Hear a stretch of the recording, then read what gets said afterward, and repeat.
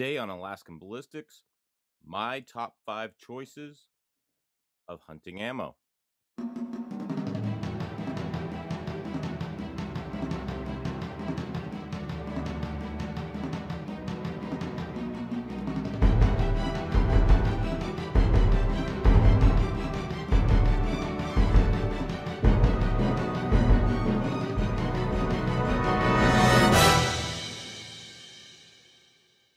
Okay, many of you requested this video after my top five worst.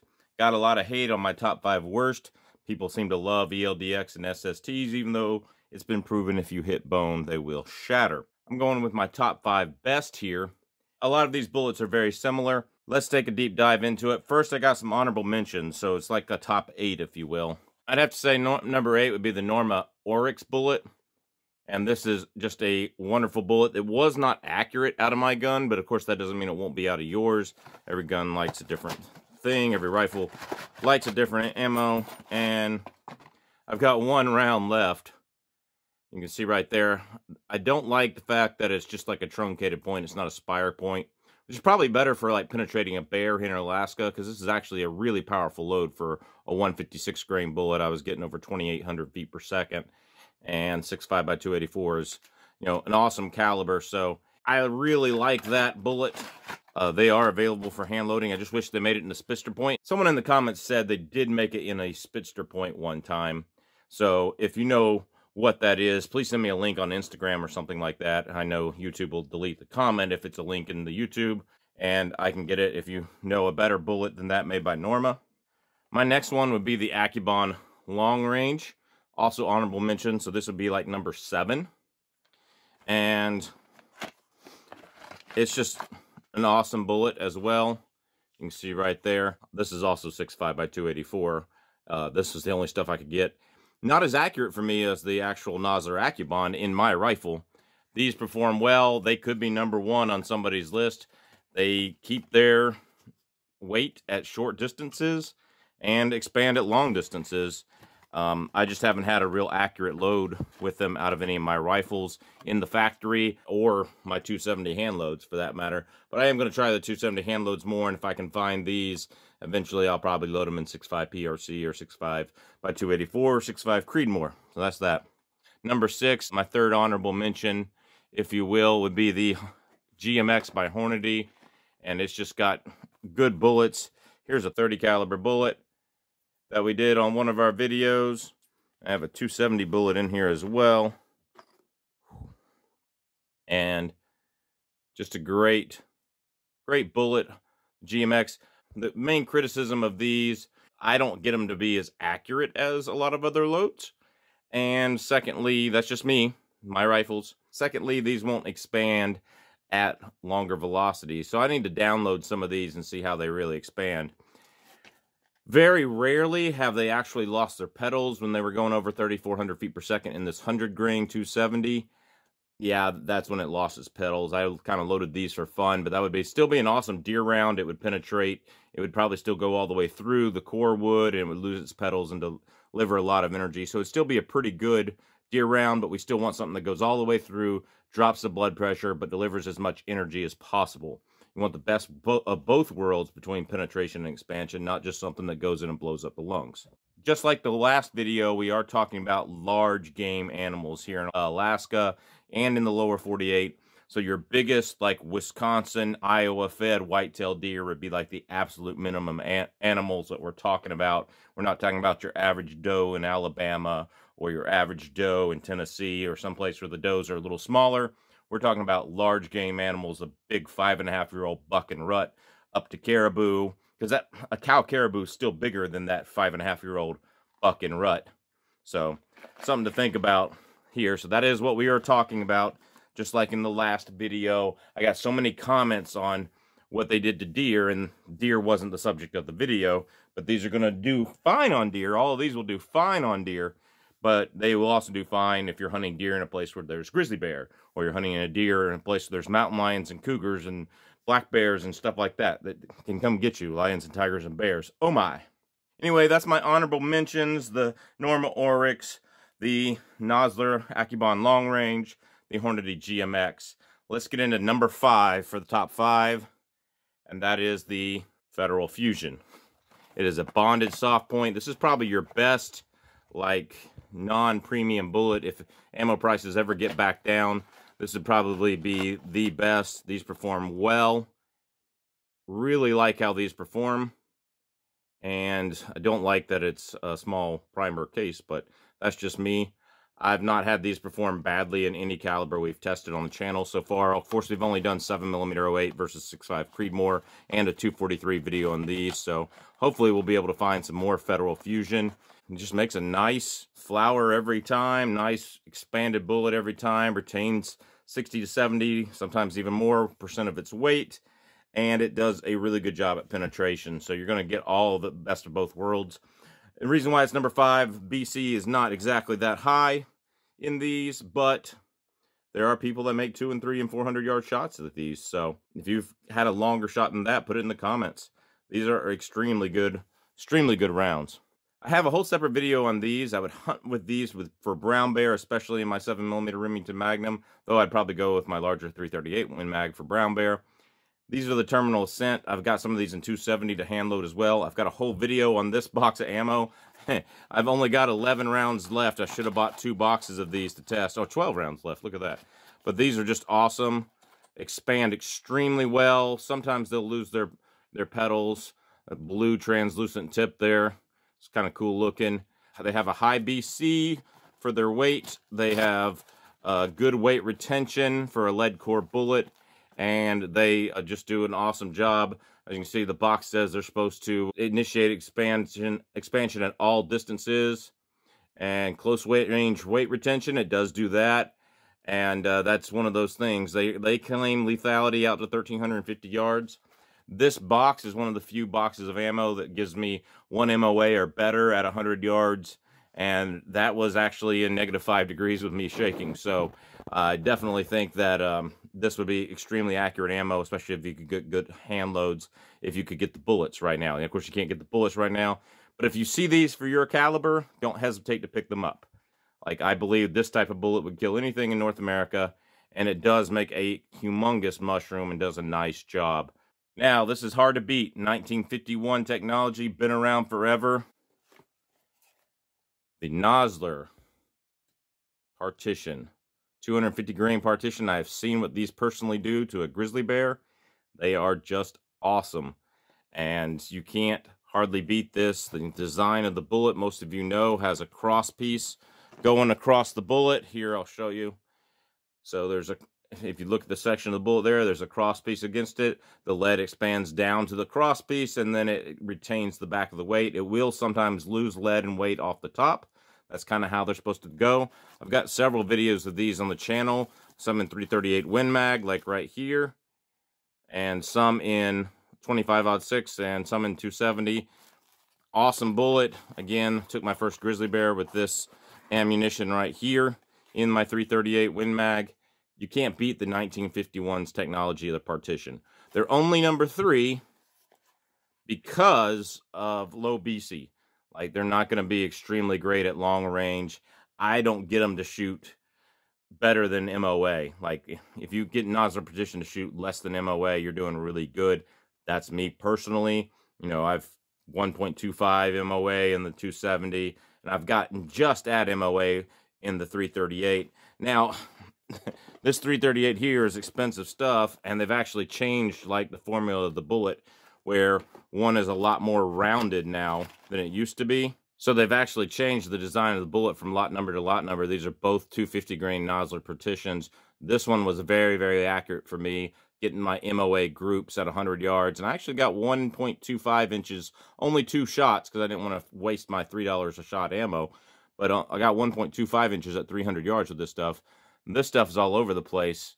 And I think they changed it. They the really the bullet design really hurt that uh, changing it to a flat nose design. And these are both coming from Nosler Trophy Grade 338 Win Mag, as you can see there. I mean, those are both coming from the partition. So definitely something you want to keep in mind is buy all the lot numbers you can. If it's a good lot number for you, buy all the boxes you can of that lot number. Otherwise, it may not be the same. And our next ammo, Barnes, is actually kind of bad about that. Their, their lot numbers chronograph totally differently and are often in different spots of when it comes to point of impact. So be careful with that with Nosler Partition. Still 1951 technology, great bullets. I can't recommend enough the Nosler Partition, and it is just an awesome, awesome bullet. Next we have the Tipped TSX. The Tipped TSX has done awesome for me in all of my tests. It is probably the most used bullet in Alaska, and it can be used on everything from you know caribou to grizzly bear to Sitka black-tailed deer on the small end to muskox and bison. People use it all the time. It's probably the number one bullet used in Alaska right now is the tipped TSX. I've got many videos on how well these perform. I'll show you some individual bullets here. These are 30 caliber 165 grain bullets. Perform really, really well. All right. Uh, they do really well in 338 Win Mag as well. Performing nice flower opening bullets. So 225 grain, there we are. Great stuff. And I have some bullets here. Here's a 270. You see it performed extremely well.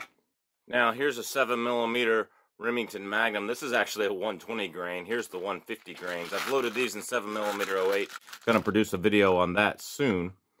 But these are just extremely good bullets. Now here's the 120 grain and it was going fast enough at 3,600 feet per second to break off its petals. So breaking off its petals, that is one of its downfalls. If you hit, you know, really solid bone, it might break off its petals.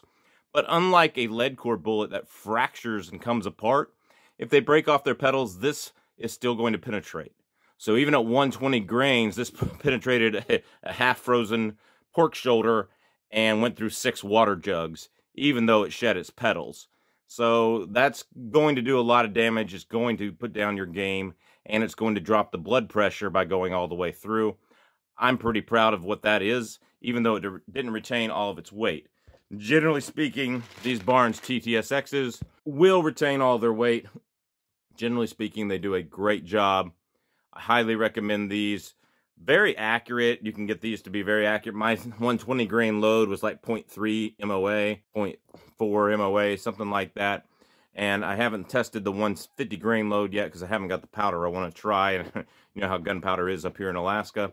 I haven't got that yet. Hopefully things will get better soon and we'll be able to get some more powder and some Reloder 26 to try this. Of course, I could try 4831, but it doesn't give me the velocities I'm looking for according to the load manual. If you watch my channel at all, you knew what was the number one bullet know, for me, and that's the Barnes LRX. It's very similar to the TTSX. It will rip petals if it's going, you know, too fast, just like the TTSX, but it will expand at longer ranges. I have taken a Caribou one shot through the heart, so all you people in the last video that said I couldn't shoot, one shot in the heart in a 7 mile an hour crosswind, which is not a major crosswind, but it's enough to throw your bullet off at 459 yards. One shot through the heart, 7 millimeter Rem Mag, factory ammo. I took a car cow caribou at 459 yards, my longest and best shot. My wife took one at 340 yards right through the neck. I took one with 6.5 Creedmoor last year at 288 yards, one shot right through the heart. One thing about the 6.5 Creedmoor, they do tend to deflect and not go all the way through, or they might deflect, hit the vitals and go out another direction. So that is one thing you want to think about. And these bullets are just awesome. You can see right here, very well expanded. This is actually 270 from our test. I have not found one in an animal yet because they punch all the way through while doing tons of damage, dropping the blood pressure, going all the way through, but expanding and delivering a lot of energy. Here's what a bullet looks like in 6.5 Creedmoor, 6 or 6.5 caliber. I have loaded these in 6.5 by 284 Norma and gotten less than 0.3.